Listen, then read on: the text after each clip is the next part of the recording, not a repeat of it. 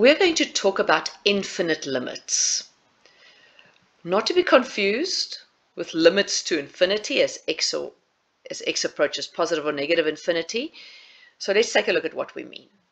We've defined a limit to exist if the limit from the left and the limit from the right is equal. So if we look at this function we have here, we know the limit as x approaches 0 of this function does not exist. And the reason that limit does not exist is because the limit as x approaches 0 of my function from the negative side is not equal to the limit as x approaches 0 from the positive side. So that we've established. But what we need to recognize is it is important to see what happens to the function as x approaches 0 from the left and as x approaches 0 from the right. Why is it important? Well, for one thing, if we want to talk about the behavior of the graph, if we want to sketch the graph, it's not sufficient just to say it doesn't exist. Now, this is a simple example, but with more complex examples, the value, information becomes more valuable. So if I say the limit as x approaches 0 from the negative side, if I look at that, I can see as x goes to 0 from the negative side, my y values get smaller and smaller and smaller, it keeps getting smaller. So I can say that that is minus infinity because it goes towards minus infinity. So you can write it like that. And if I look at the limit as x approaches 0 from the positive side of this function, that goes to infinity. x approaches 0 from the positive side, my y values get bigger and bigger and bigger.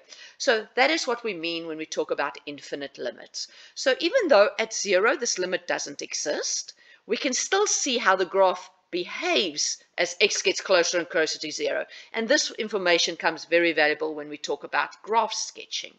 So let's look at some more examples. Let's look at this one. I've got 1 minus x divided by x minus 2. Now, we've got the sketch there. We know there's an asymptote at 2. 2 is not in the domain. We know there's an asymptote. So we can see on the sketch what's happening. But now the question is, how do we do it algebraically if we do not have the sketch? If our aim is to sketch the graph, how do I do it algebraically? So let's see at what we what we do. Look at the limit. x, x approaches 2 from the negative side of 1 minus x over x minus 2. So what do we see? Now, we see on the graph x is going to 2 from the negative side, so my y values goes to infinity. But how can we do that algebraically? Well, we look at this fraction we have here x is approaching 2 from the negative side. So it's going towards 2. So 1.9, 1.99, 1.9999999. We can't assign a specific value for x, but we can see how this fraction behaves as x gets closer and closer to 2. So my numerator is definitely going to be a negative number because it's 1 minus 1.9999999 and so. So my numerator, I'm just going to write it here on the side, is going to be a negative number. My denominator, x is approaching 2, so my denominator approaches 0.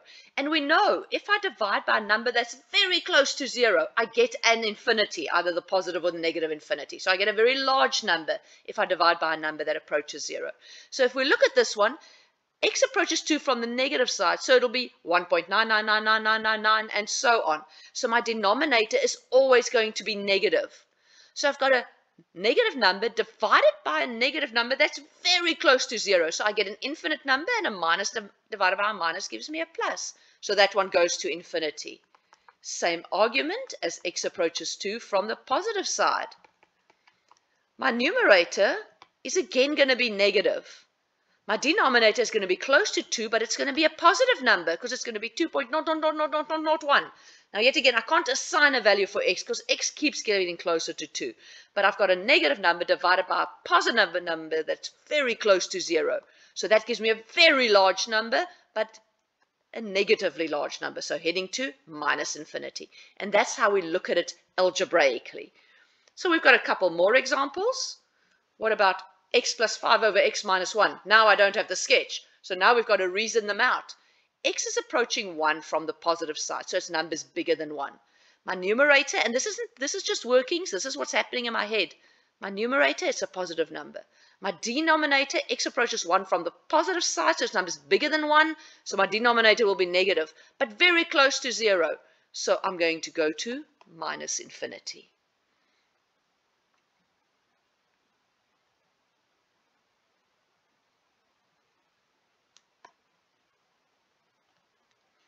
X is approaching 1 from the positive side, so my numerator is going to be positive.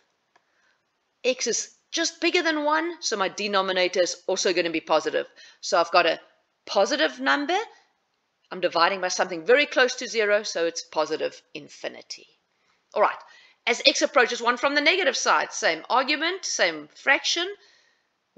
x is approaching 1, but numbers smaller than 1, so 0.999999999. Yet again, I'm not substituting a value of x in, I'm just looking at the behavior. So my numerator will still be positive. My denominator is now going to be negative because I've got a number just smaller than 1 minus 1. But it's going to be very close to 0, so I'm dividing by something close to 0, so it's a very large number, but this will be a negative large number, minus infinity. And we're going to use that strategy going forward. So let's go a bit faster x is approaching 2. Now, I'm not saying from either side. The reason is because I'm squaring this. So as x approaches 2, both from the positive and the negative side, this denominator is always going to be positive, but very close to 0. My numerator is always going to be negative. So this goes to minus infinity. So this function has an asymptote at minus, uh, uh, as an asymptote at 2, and both sides of the graph go towards minus infinity. Now let's look at some trig functions. Cos of x divided by sine of x, x goes to pi. Now, what do I know about cos? You should know what, quickly be able to draw the graph of cos, that's pi. So as x approaches pi from the negative side, cos goes towards minus 1. But it's a negative number. Where sine, as x approaches sine, pi, sine goes to naught. But let's see, is it a positive or negative? X is approaching pi from the negative side. So sine is still positive, but very close to zero. So this goes to minus infinity. And that is the graph of cot x. So you can compare it to that one. All right, so last thing to look at. The fact that a limit doesn't exist doesn't mean it necessarily goes to infinity. If I look at root x, just a quick example, root x looks like this. If I look at the limit as x approaches minus 1 of this function, this function isn't even defined at minus 1. So that limit definitely does not exist. And there's no more information we can see about that one.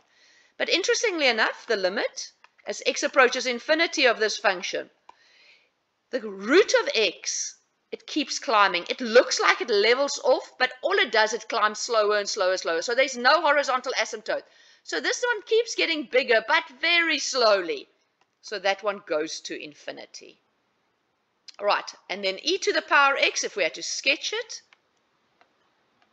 yet again the limit as x approaches minus infinity of this function, there's an asymptote, so that as x goes to minus infinity, y goes to 0 and the limit as x goes to infinity, the infinite limit. x is going to infinity, so this one keeps climbing much faster. So e to the power x climbs way faster than the root of x, but both of those go towards infinity. So that's the concept of infinite limits.